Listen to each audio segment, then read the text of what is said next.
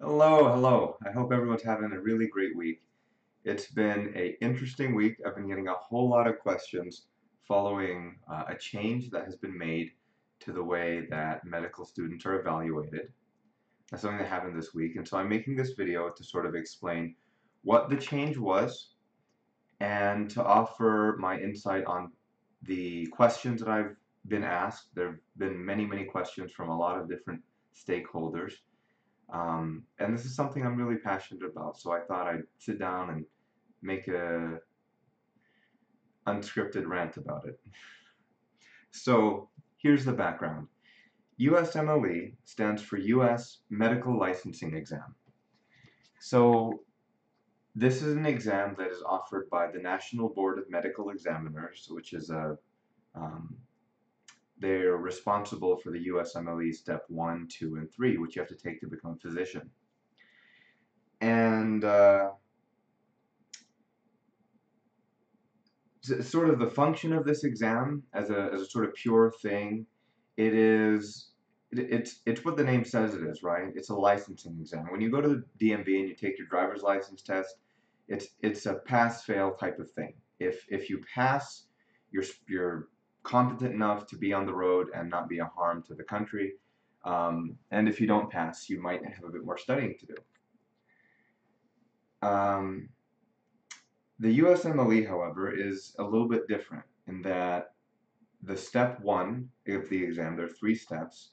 Step one, two, and three are reported in um, in units, in actual measurable units, a three-digit score. And residency programs which have a high ratio of applicants to available spots, tend to use the step one score very heavily to stratify people. Now, if you look at the actual data, which are publicly available on um, uh, on on, on uh, online, they they track this every year.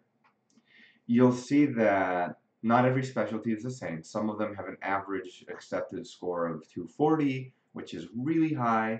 Others don't really care and have an average score of, uh, or a 10th percentile score of 198, 200, 204, where a pass is 196. A pass on this exam is, is 196. So as you might imagine, there's, there's uh, it, it plays a large role in the lives of medical students because just like the SAT is used for college admissions, MCAT is used for med school admissions, the USMLE 1 is used for residency admissions, and it's more heavily used in some of the really um, uh, some of the specialties that have a high ratio of applicants to uh, to available spots. So I just took some notes to make sure that I uh, stay on time here. Okay. So in medicine, medical education today, there are some serious problems. One of them is that there's a huge rate of medical student burnout, depression, and suicide, or uh, whether you uh, define it as huge, it's disproportionate relative to the general population. And so there are a lot of initiatives to try to figure out how do we do this. Um, some schools will uh, give out grants for students to do wellness activities. Some provide gym memberships. Most schools have a mental health counselor. But in a broader systemic way, uh, medical educators are trying to figure out what changes can we make to the system to make it less deleterious to people's health. And two, two or three years ago now, I think it was that the uh, INCUS committee, and I don't remember what it stands for, was put together at the NBME. Um, or may have not even been, uh, no, it's, it's from the NBME and their job was to figure out should we make this USMLE reported as pass-fail or keep it as a three-digit score. The significance of that would be if it's pass-fail, you can't use it to stratify applicants. Um, but at the same time, applicants can't use it as a, hey, look at me, look how high my score is, because we're only getting pass-fail. And they deliberated on this, and they met in December to have like a real decisive powwow about it. And they came out a few days ago and they announced that it's going to become pass fail in uh, 2022 or no earlier than 2022 is what they said.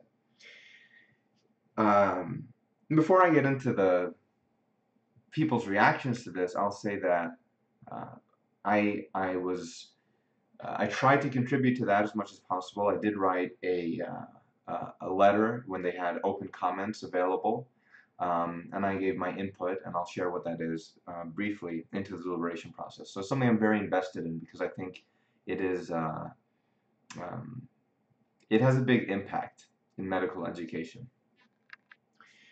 So, all right.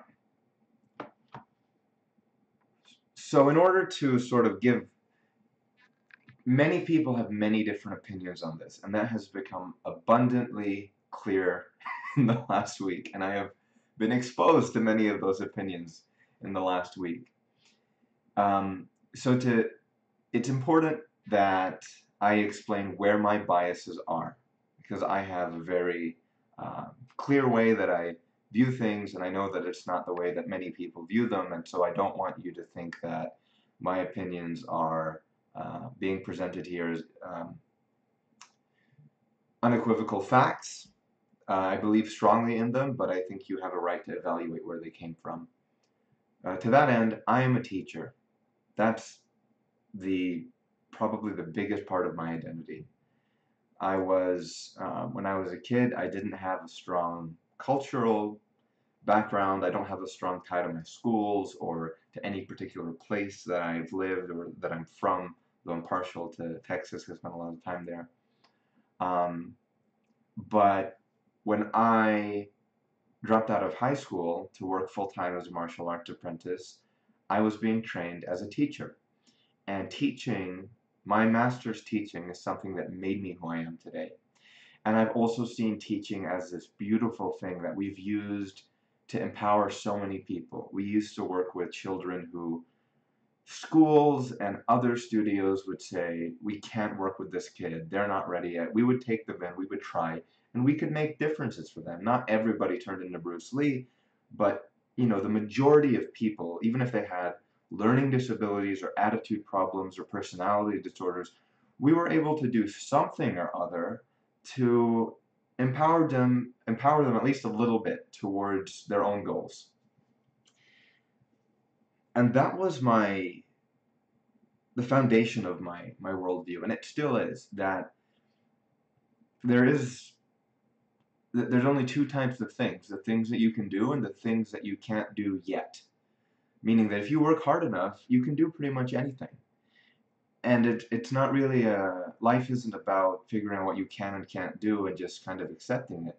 It's about deciding what are the things that are worth investing your life into. So you can do anything so you have to pick what what really matters And that mindset, that way of thinking, is something that has been explored extensively by a scientist called Dr. Carol Dweck. She's out of Stanford, and she's written a book called Mindset, and she's given some TED Talks, and her work is absolutely beautiful. And her work elucidates the difference between growth and fixed mindset. Growth mindset is what I just shared with you, is the idea that, you know, failure is a challenge there's no such thing as impossibility, just infinite possibility. And the way that you think about yourself is um, as just just pluripotent person who can invest effort where they want to invest and expect that they will get fulfillment and happiness from that progress, from that growth, not necessarily from you know, uh, getting into this program or making this salary, but just that process of continuous growth. And the fixed mindset would be um, I got a C, therefore I'm stupid. I got an A, therefore I'm smart. I got into Harvard, therefore I'm smart. I got into not Harvard, therefore I'm less smart. That type of very, what it sounds like, fixed, fixed thinking. And so when I was working as a martial arts instructor, I still work as a martial arts instructor, um, as I've taught and as I continue to teach, I realize that the single biggest predictor of success is the growth mindset and things related to that purposefulness, um, self concept, um, just these things that determine how a person responds to failure. How do they interact with societal expectations? how do they set goals for themselves? How do they recover from from from losses, that type of thing. So this is an approach that I have been very fortunate to be able to use to work with students from around the country through my MCAT teaching, through my public speaking and uh, life coaching and you know all the efforts I do, the servant leadership community. And everybody I work with, I've been so privileged to um, sort of people share with me very intimate parts of their life and their struggles and their victories and I get to see why they happen. I get to see why people get out of bad circumstances and how they get into good ones and when they're in good circumstances and thing goes wrong, I get to make my own observations about why that might have been and I get to work with people about that. Um, And the reason I do all of that is again because I'm a teacher. My my purpose in life is personal excellence and service. It's to be my best self and to use that to empower other people to do it too. Because being your best self feels fantastic and helping people feels fantastic. And human dignity is a fantastic thing. And when you inspire it in the world around you, your life gets better. It, th there's just no other way I would want to live. So that's my background. That that's my priority. I don't really care how many digits are in my bank account. I don't really care um, what names are or are not on my CV, and consequently, I don't really care about those aspects in my students' lives. If I have a client or a student who um, they're in a situation where being financially independent matters to them, then I really care about their finances. If they don't care about that, I don't care either. If, if they're in a circumstance where going to school matters to them and, and getting good grades matters to them, I care about that. But if they are, if their goals don't really align with academic standard met metrics of success, I, I don't care about that. Okay? So there, in, in my view, there, there is no, um, prestige is a myth Success is not something that your parents tell you what it means, or your school tells you what it means, or your society tells you what it means. Those things play a factor, but you have to decide what success is. And I think that people who do not do that disadvantage themselves when it comes to being happy. Okay. So I think that's enough background for me to explain some of the arguments that have been going on and what I think about them. So let's see, how did I put this in order?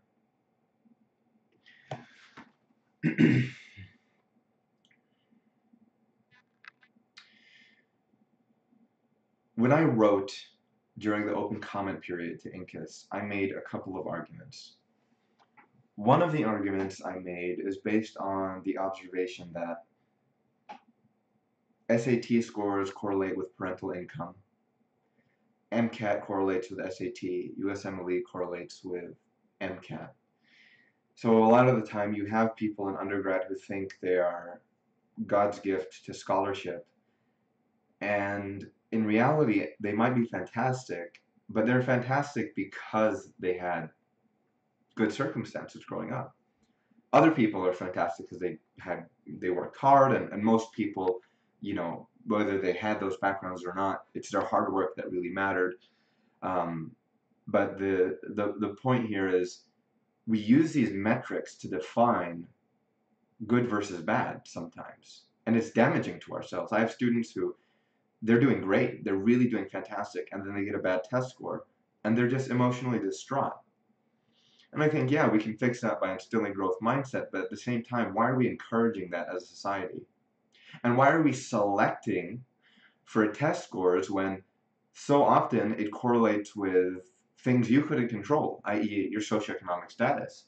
I remember one uh, particular student I worked with who was working 60 hours a week during undergrad, did a fantastic job. She had like a 3.5, 3.6 or something.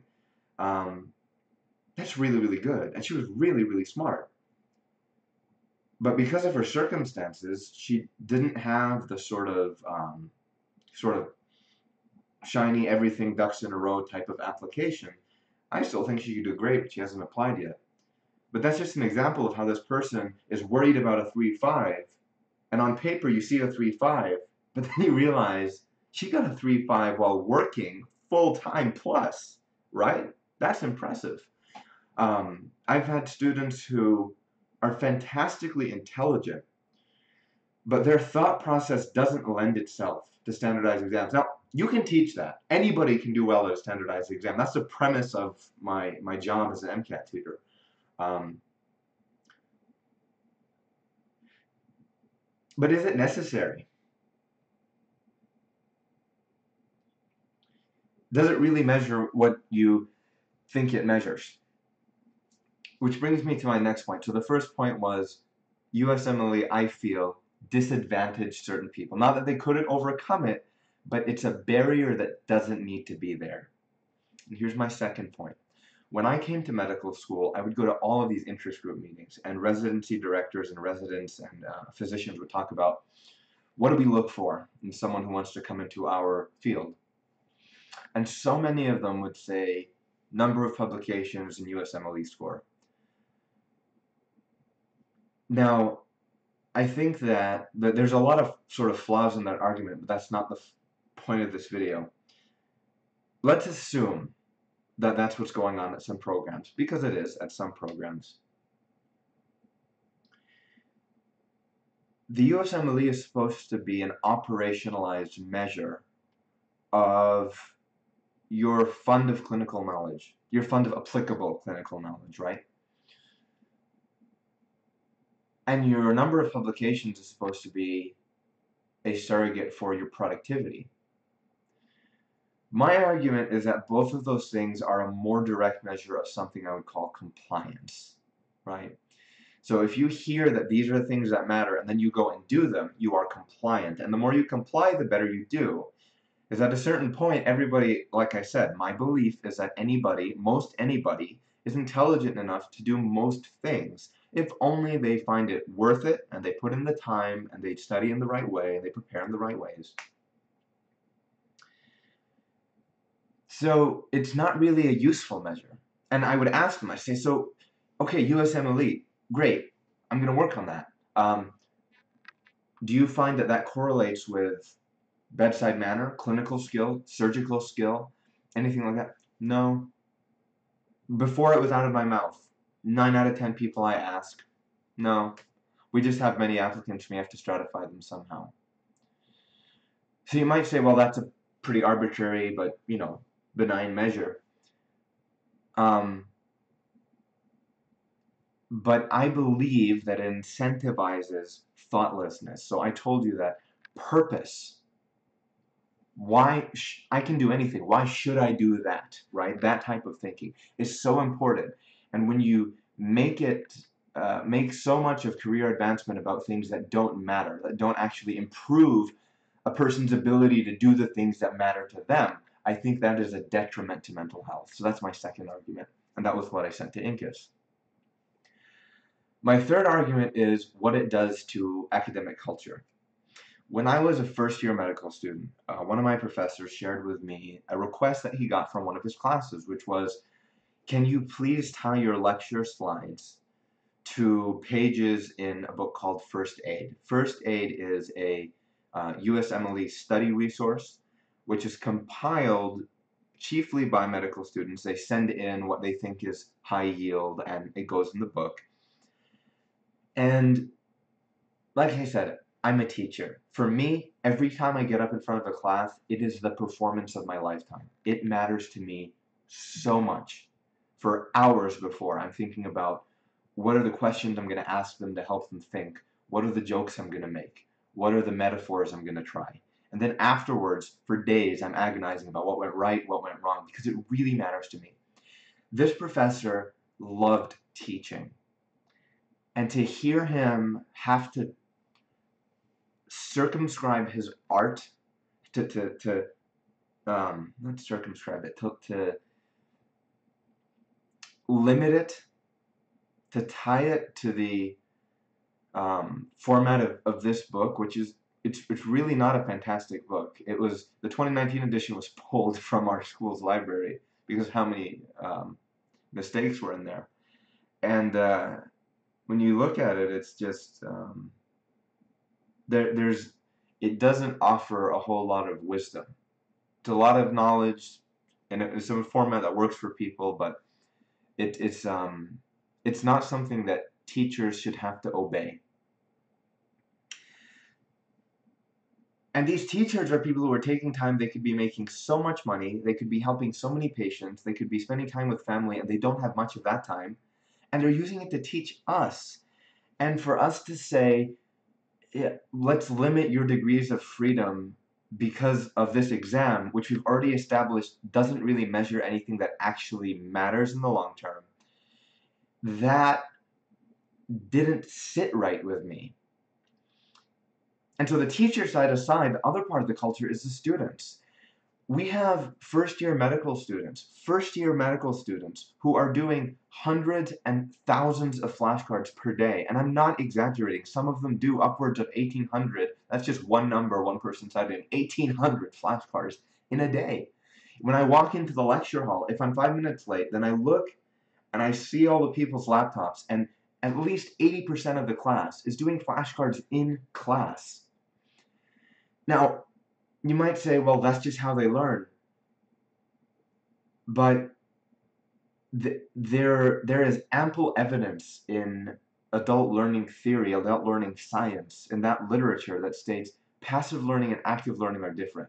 Actively engaging with a teacher who is actively trying to teach you with guided questions and metaphors and that type of thing is a very different cognitively formative experience than sitting there and word associating and image associating with flashcards. And I know people who they are much more knowledgeable than me uh, in terms of the the stuff that we're supposed to be learning, and they swear by memorization and they vehemently disagree with me, and that's fine. This is just me explaining my perspective. Um, and, and then I might say, well, it's also disrespectful for students to be doing that, but then what we're expected to do to advance our careers to the next stage we want to get to is it, it's out of phase with lecture. We're just supposed to be able to do well on the exam. And if a student says, well, I know that this will do well on the exam, why should I take the risk to engage with lecture? So I don't even fully blame the medical students in the context of the system that we've set up. So there's the cultural issue. And then so those were uh, those, those those are those are the big ones, right? The indirect selection against socioeconomic status, I think, is a big one. The fact that it's not a useful measure, and the effect it has on culture for teachers and students.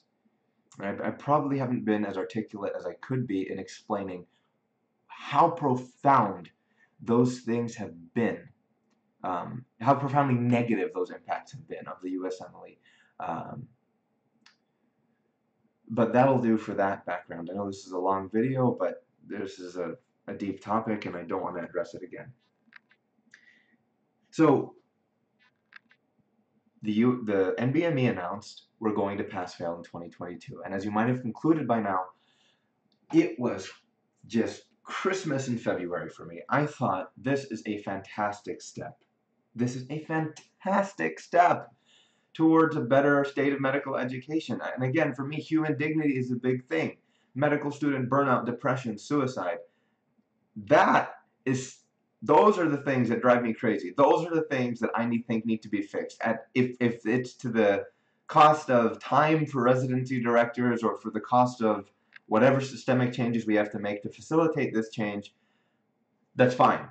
Because mental health physical health, human dignity is infinitely more important to me than licensure and career advancement. Okay? so what are the student arguments? The, the sort of co uh, common theme is, how do I distinguish myself now? And here's where this is going to turn into just an absolutely violent rant when a student says that to me, and I'm looking at them, I'm looking at 20 some odd years of, of investment of parents, teachers, that individual, society into producing the human being that is in front of me. I see talent. I see passion. I see natural affinities. I see likes and dislikes and um, loves and, and hatred and, and just all these aspects of a human being that coordinate to form this locus of infinite potential. This person who, if they saw what I saw in them, and if they developed that every day, they could become more than anybody ever expected they could be. Because I'm a teacher, and that's how I see the world. And that's how I've interacted with the world. And my students have proven me right again and again and again. They surprise me and delight me with their tremendous capabilities again and again and again and again. And for someone to be in front of me saying, How do I distinguish myself now that there's no standardized measure? Are you out of your mind? How hard it is for me to hear that someone has so little self worth that they think they need to compete in an average metric? In kindergarten, I learned you can't compare apples and oranges. Apples and oranges, I would say they're more similar than any two human beings. We are human individuality is peerless. There's nothing quite like it. And so this hyper focus on how do we objectively compare everyone together? You don't. Because if you do that, they're not actually human beings. You're comparing things about them, but you're not comparing them. And the issue is, from grade school and up, we have broken the growth mindset. We have broken dignity, purposefulness, individuality. And that's why we have such poor mental health. We have epidemics of, of, of, of depression, of anxiety. I can't tell you how many times I meet with students and they think they have academic troubles, but what they have is generalized anxiety disorder. And what we have to work through is a complete lack of self-care and self-worth and, and inability to see their own purpose. And it's wrong that we've done that to them, that we do that to each other. It's, it's just morally reprehensible. So I was speaking to a um, a student at he's a very very very accomplished guy at a prestigious, which again I think is a myth, a prestigious institution, and he I mean published in in amazing journals, has amazing skill sets, and he's a great personality, fantastic, brilliant human being, great sense of humor, and he's saying, you know, since I'm taking time to do um, a PhD, when I apply, I'm going to be competing with people who don't have to study hard for the USMLE because it's a pass-fail. And so I don't think I can compete with them. Really? Everything going for him? And he's worried about that? And on the other hand, I have people at uh, schools that they think are less prestigious, which again, I think is a myth. And they're saying, how can we compete with the people at more prestigious schools? So the people at the prestigious school are freaking out about competing with the others, and the people at the others competing with, they're all freaking out. So it's really just an underlying neuroticism because we've been trained to be neurotic throughout the entirety of our education. It's a neurotic community. Panicking is a, a uh, like a social pastime for, for academics.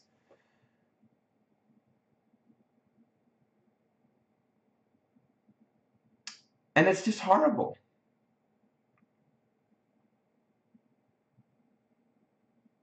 It's horrible that these people are going through life without realizing how fantastic they are.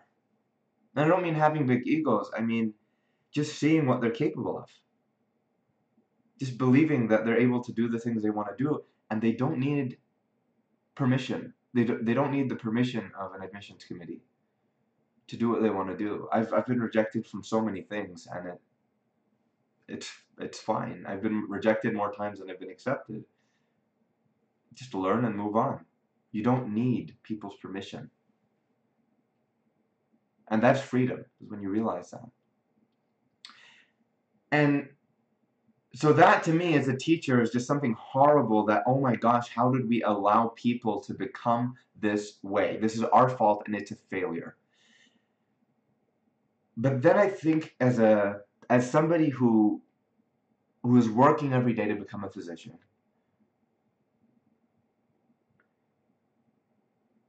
my calling to the art is based on the fact that doctor comes from the Latin infinitive docere, to teach the infinitive, to teach.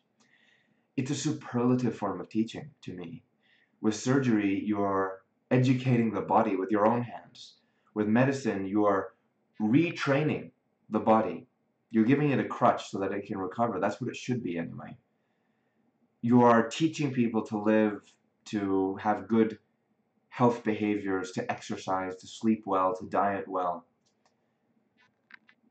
it's sacred. It's a, it's a sacred trust. People, I'm always just humbled. People listen to me. And how can that not humble you? I'm responsible for the things that I say because people listen to them. And as a doctor, people listen to you even more.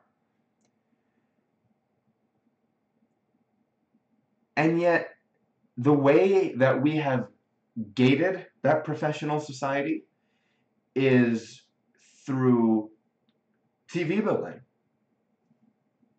Test scores, grades. You can have a 4.0 GPA, 528 on the MCAT, 90th percentile USMLE score, but when you're in the operating room and something new happens, something that isn't in the textbook, something that you did not expect, there is no indication that you'll know what you're doing. You need critical, quick thinking. You need the empathy to understand what your team is feeling and to rally them and to get them on the same page to fix the problem. You need the people skills and again, the empathy to engage with the patient's family and with the patient to explain what happened. You need the street smarts to understand the uh, procedural and the legal framework in which you're going to have to deal with that for the benefit of the patient, for the hospital, and for yourself you need time management skills so that you can honor your personal obligations, your personal health, your familial obligations, and at the same time, the obligations to your parent, to your patient, to your profession, to all the other things you're doing. You can't measure those things with tests. And you say, well, how can you measure them? You can take the time to really evaluate a person's words, their personal statements, their applications, their interview presentation. And you might say people can fox those things. As I've been a mission consultant for several years, and with every passing year, I am more and more convinced that you can't fox the integration of those elements to someone who really knows what to look for, for a whole committee who really knows what to look for. And I think the impetus for us as a society to have developed those skills of assessment has been removed by the standardized assessments. Let's see how far off track I've gotten.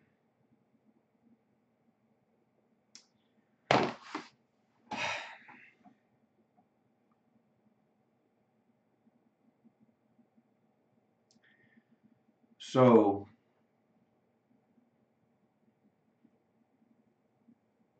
practical advice, okay, because that's what people have been asking for. Um, to the people who are worried because say they're MD PhDs and they'll be applying against people who are in the pass-fail system, um, really look at yourself. If you're someone who's taking time off, if you're someone who's um, going to be in that gap and you're worried about who you're competing against, look at yourself and realize how capable you are.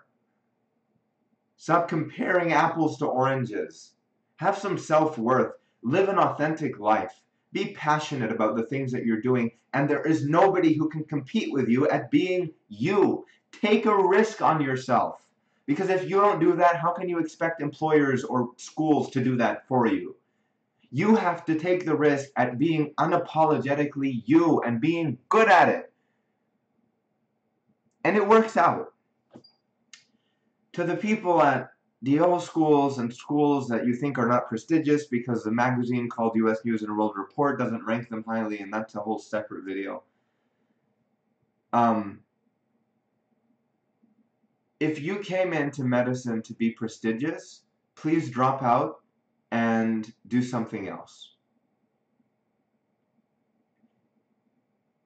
If you came into medicine to be prestigious and make money, and it could be an aspect, maybe that's something you enjoy, it's okay if you enjoy it, but if that's why you're here, get out.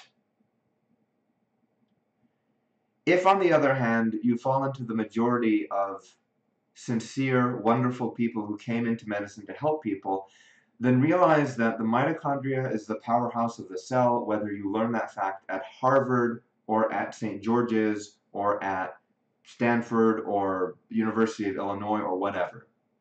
The science you learn will be the same. You're going to learn probably from the same textbooks as everyone else, and if you're not, you can just buy the textbook.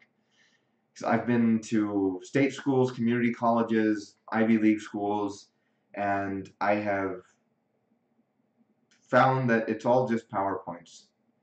The only difference is not based on institution, it's based on teacher. It's based on how passionate that person is and how good a job they do at making you feel inspired about what they're teaching. And you'll find that everywhere. And you'll find the opposite, apathetic, mediocre teaching everywhere.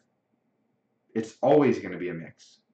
The doctor you become has nothing to do with your scores, and it has nothing to do with the prestige. If you're worried about how am I going to show off so that I can get into a top residency, what does top mean, first off? Think for a second.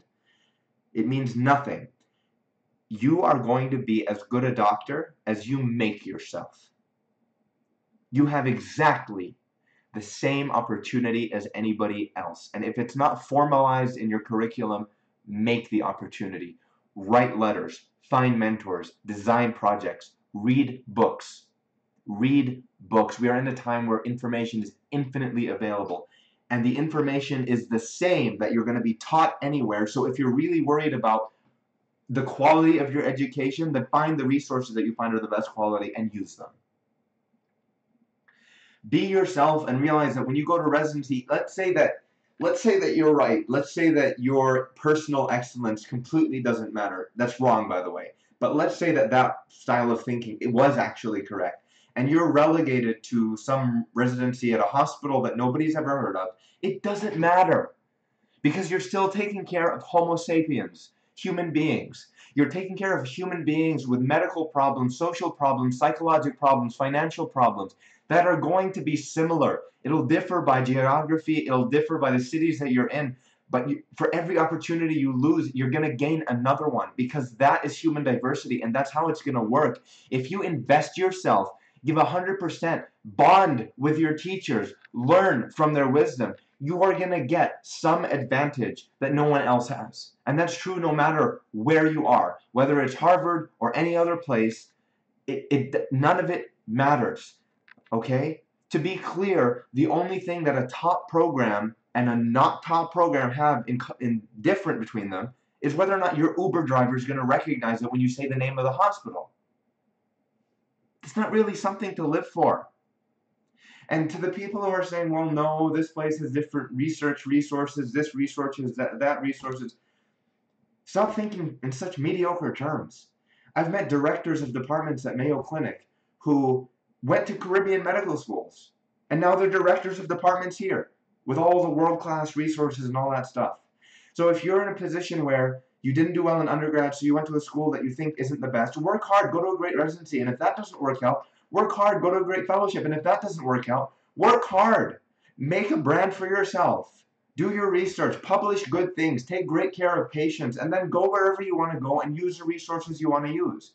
There are people who are made by the places they go, eh, by the places they go, and there are people who make the places they go. The people who founded these universities, who founded these schools of thought, who wrote the initial papers and did the initial work. And the places that you think are so famous are famous because of the hard work of those people who did it at a time when the place they were doing it was nothing. It was nothing but a place where they happened to be where they could do the things that mattered. Stop neuroticizing over something as trivial as a standardized exam in a profession where life and death hangs in the balance every single day.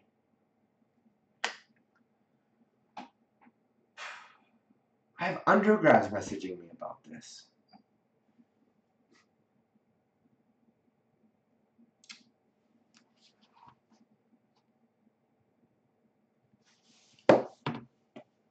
That's the gist of it.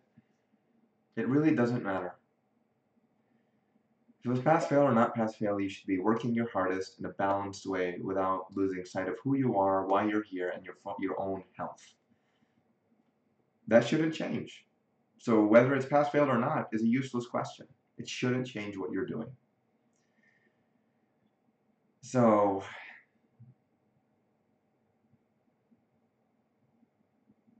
I hope that that was useful to somebody. It was certainly cathartic for me. Probably, yeah. All right. I'm off.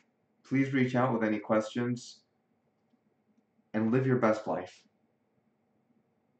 You deserve that and nobody can stop you from doing it.